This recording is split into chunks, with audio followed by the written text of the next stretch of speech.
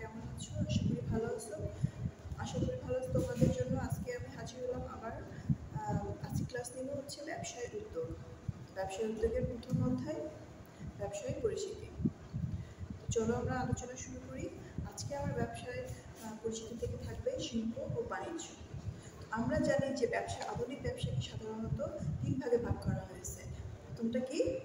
শিল্প, দ্বিতীয়টা বাণিজ্য, ও শেষেরটা হচ্ছে প্রত্যক্ষ সেবা।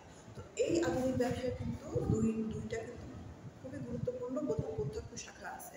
সেটাকে কি জানো? সেটা হচ্ছে শিল্প ও বাণিজ্য। তো আজকে আমার আলোচ্য বিষয় থাকবে শিল্প ও বাণিজ্য। চলো প্রথমে আমরা শিল্প সম্পর্কে একটু আলোচনা করি। শিল্পটা আসলে কি? শিল্পটা হচ্ছে এমন একটা জিনিস যেটা আমরা আমাদের কাছে যেগুলো আসে যে কাঁচামাল রূপে কাঁচামাল রূপে আসে সেটা আমরা প্রক্রিয়াজাতকরণের মাধ্যমে যখন আমাদের ব্যবহার উপযোগী করি সেটাই হচ্ছে শিল্প। যেমন ধরো পছন্দ করি, অনেকে চা খেতে পছন্দ করি, সেই চাটা যখন আমাদের কাছে আসবে, প্রথমে চাটা কি হয়? প্রকৃতিতে হয়, সেটা চারা প্রথম তাকে রোপণ করতে হয়, সেটা একসময় তোলে, চা তুলে কারখানায় নিয়ে সেটা শুকায় এবং প্রক্রিয়াজাত করে টি ব্যাগ বা চা চা হয়ে আমাদের ভিতরে আসে এবং আমরা সেটা তৈরি করে খাই। বড় পাইতে তৈরি করে খাই, তাই না?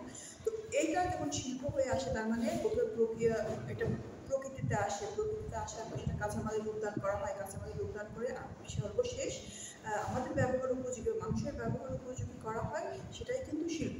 তো আমরা সুন্দরভাবে বলতে পারি শিল্পটা আসলে হচ্ছে যে প্রক্রিয়ায় প্রাকৃতিক সম্পদ আহরণ কাঁচামালের রূপদান এবং এবং প্রক্রিয়াজাতকরণের মাধ্যমে কাঁচামালকে মানুষের ব্যবহার উপযোগী, অর্থাৎ আমাদের ব্যবহার উপযোগী পণ্যে রূপান্তর করা হয় সেটাই হচ্ছে শিল্প। তো শিল্প, শিল্পটা, সবার শিল্প, বিভিন্ন ধরনের শিল্প কিন্তু হতে পারে। তো এই সবের ভিত্তি করে শিল্পকে প্রধানত কয় ভাগে ভাগ করেছে জানো? শিল্পকে প্রধানত পাঁচ ভাগে ভাগ করা হয়েছে তো শিল্পকে কয় ভাগে ভাগ করা হয়েছে? পাঁচ ভাগে তো প্রথমটা হচ্ছে প্রথম হচ্ছে প্রজনন শিল্প প্রজনন প্রজনন শিল্প এই প্রজনন শিল্পটা কি প্রজনন শিল্প হচ্ছে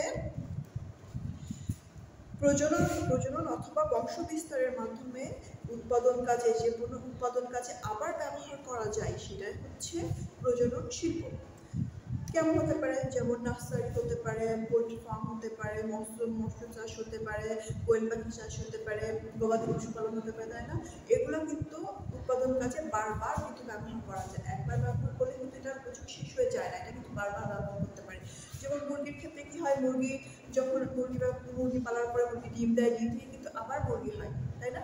তো এই বংশ বিস্তার প্রক্রিয়ার মাধ্যমে আবার কিন্তু উৎপাদন কাজে এটা ব্যবহার হচ্ছে। তো উদাহরণ হিসেবে কিন্তু আমরা দেখতে পাই যেমন হতে পারে নার্সারি হতে পারে, যেমন গাছপালা করতে হয় নার্সারি নার্সারি হতে পারে, তারপর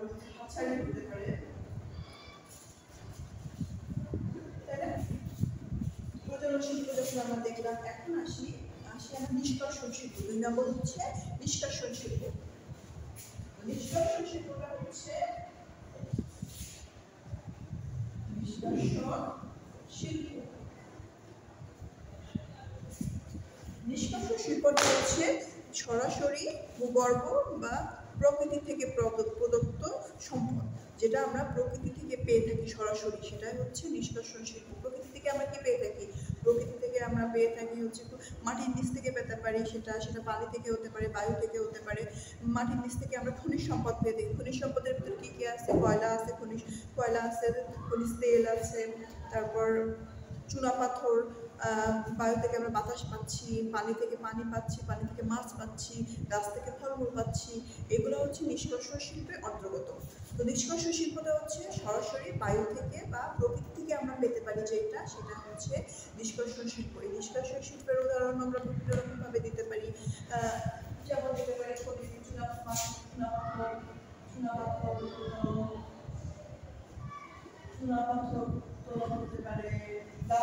গাছ থেকে গাছ থেকে ফলমূল আহরণ করতে পারি। তারপরে যে খনিজ তেলগুলো আছে, যেটা আমাদের ব্যবহার উপযোগী গ্যাস আছে, গ্যাস এর প্রথমে কিন্তু শিল্পের মাধ্যমে এগুলো আনা হয়, আনার পরে কিন্তু প্রক্রিয়াজাতকরণের মাধ্যমে কিন্তু এগুলা আমাদের ব্যবহার উপযোগী কিন্তু করা হচ্ছে। তো এখন আমরা আসি হচ্ছে তিন নম্বর তিন নম্বর হচ্ছে নির্মাণ শিল্প।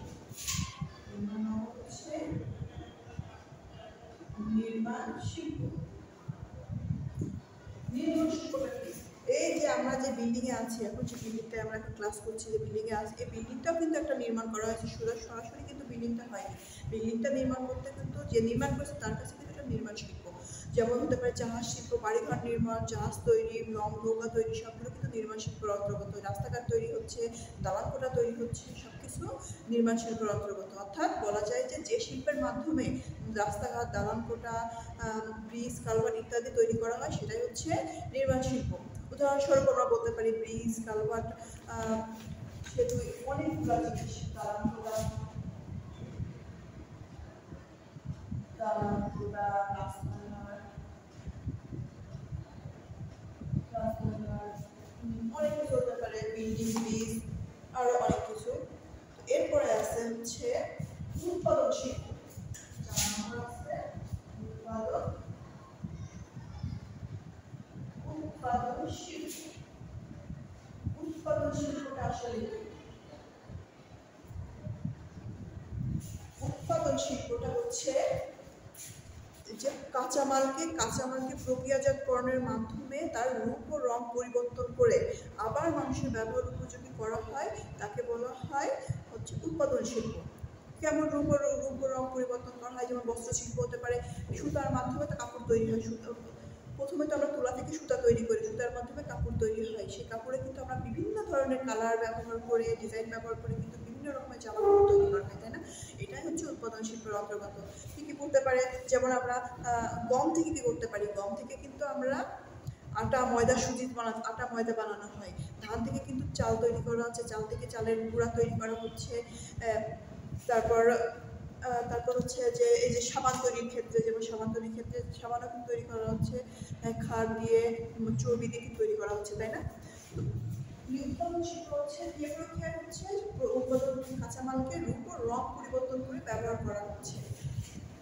হতে পারে বস্ত্র শিল্প বস্ত্র শিল্প হতে পারে তারপরে হচ্ছে ধান থেকে ধান থেকে চা হতে পারে, তারপরে গম থেকে আটা, ময়দা সুজি হতে পারে, তাই না? সর্বশেষ হচ্ছে আমার সেবা শিল্প। সেবা শিল্প।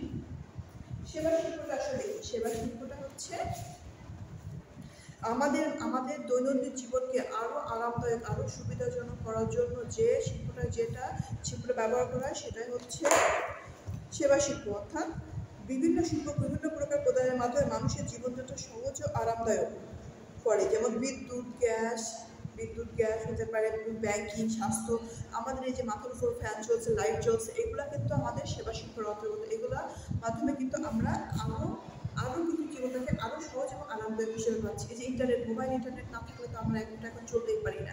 ব্যাংকিং বাসায় বসে রকেট বিকাশের মাধ্যমে কিন্তু আমরা ব্যাংকিং লেনদেনগুলো করতে পারছি সব কিছু করতে পারছি, ঘরে বসে বাইরে যাওয়া লাগছে না।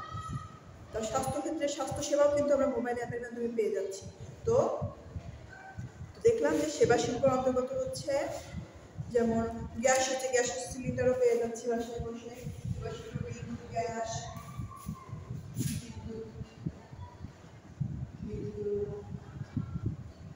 গ্যাস, ব্যাংকিং সেবা। এগুলো কিন্তু ব্যাংকিং সেবা, এগুলো কিন্তু সেবা শিল্পের অন্তর্গত। আমরা এতক্ষণ আলোচনা করলাম শিল্প সম্পর্কে। শিল্পটা হচ্ছে কি? শিল্প হচ্ছে যে প্রক্রিয়া প্রাকৃতিক সম্পদ আহরণ, কাঁচামালের উৎপাদন এবং প্রক্রিয়াজাতকরণের মাধ্যমে কাঁচামালকে মানুষের ব্যবহার উপযোগী পণ্যে রূপান্তর করা হয়, সেটাই হচ্ছে শিল্প। তো শিল্প দেখলাম, শিল্পকে শিল্প কয় ভাগে ভাগ করা যায়? শিল্পকে পাঁচ ভাগে ভাগ করা যায়। প্রথমটা হচ্ছে প্রজনন শিল্প দ্বিতীয় হচ্ছে নিষ্কাশন শিল্প, তারপরে হচ্ছে উৎপাদন শিল্প, নির্মাণ শিল্প এবং সেবা শিল্প। প্রজনন শিল্পটা আসলে কি সেটা দেখলাম প্রজনন শিল্প হচ্ছে বংশ বিস্তারের মাধ্যমে উৎপাদন কাজে আবার ব্যবহার করা যায় সেই শিল্পকে বলা হয় প্রজনন শিল্প। যেমন নার্সারি, হাসারি পাখি পালন তারপরে হচ্ছে গরু পালন অনেকগুলো আছে, উদাহরণ, যেগুলো প্রজননের মাধ্যমে পুরো পরবর্তীতে আবার তার কাজে ব্যবহার করা যাবে। তারপরে নিষ্কাশন শিল্প, যে শিল্পের মাধ্যমে সরাসরি প্রকৃতি থেকে আমরা প্রদত্ত যে সম্পদগুলো পেয়ে থাকি, সেটাই হচ্ছে উৎপাদ নিষ্কাশন শিল্পে খনিজ সম্পদ পানি, বায়ু মাছ পানি থেকে আমরা মাছ পাচ্ছি, এগুলো হচ্ছে নিষ্কাশন শিল্পের অন্তর্গত। তারপরে নির্মাণ শিল্প, যে শিল্পের মাধ্যমে আমরা, যে শিল্পের মাধ্যমে রাস্তাঘাট, বিল্ডিং দালানকোঠা ইত্যাদি নির্মাণ করা হয়, সেটাই হচ্ছে নির্মাণ শিল্প। এই যে রাস্তাঘাট তৈরি হচ্ছে, বড় বড় দালানকোঠা তৈরি হচ্ছে, এগুলো কিন্তু নির্মাণ শিল্পের অন্তর্গত। তারপরে হচ্ছে হচ্ছে উৎপাদন শিল্প। উৎপাদন শিল্পটা হচ্ছে যে শিল্পের মাধ্যমে যে শিল্পের মাধ্যমে পণ্যদ্রব্য পণ্যদ্রব্যগুলোর রূপ, রং পরিবর্তন করার মাধ্যমে সরস সহজে পণ্যটা আরও আকর্ষণীয় করে আমাদের মাঝে আবার ফিরে আসে, সেটাই হচ্ছে উৎপাদন শিল্পের অন্তর্গত বস্ত্র শিল্প হতে পারে, ধান ধান থেকে চাল উৎপাদন হচ্ছে, আটা, ময়দা, সুজি উৎপাদন করা হচ্ছে, সাবান তৈরি করা হচ্ছে বিভিন্ন ধরনের ড্রেস তৈরি করা হচ্ছে, এটা হচ্ছে উৎপাদন শিল্পের অন্তর্গত এরপরে আসছে হচ্ছে সেবা শিল্প। আমাদের দৈনন্দিন জীবনকে আরও সহজ আরও আরামদায়ক করার জন্য যে শিল্পগুলো, যে জিনিসগুলো আমাদের প্রয়োজন দৈনন্দিন জীবনে সেগুলোই হচ্ছে সেবা শিল্পের অন্তর্গত। আমাদের স্বাস্থ্য স্বাস্থ্য দরকার, আমাদের স্বাস্থ্য পরীক্ষার জন্য হসপিটালে যেতে হচ্ছে, এই যে ব্যাংকিং সেবাগুলো বাসায় বসে করতে পারছি, এই যে বাসায় পানি, বিদ্যুৎ বিদ্যুৎ না থাকলে তো আমাদের এক ফোঁটা আমরা চলতেই পারি না, সেরকম লাইফ তো এখন আসি আমরা এগুলো দেখলাম, তো আশা করি তোমরা এগুলো বুঝেছ এবং বাসায় এগুলো প্র্যাকটিস করবে এবং নিজেরা একটু পড়াশোনা করবে। তো ভালো থেকো সুস্থ থেকো। আল্লাহ হাফিজ।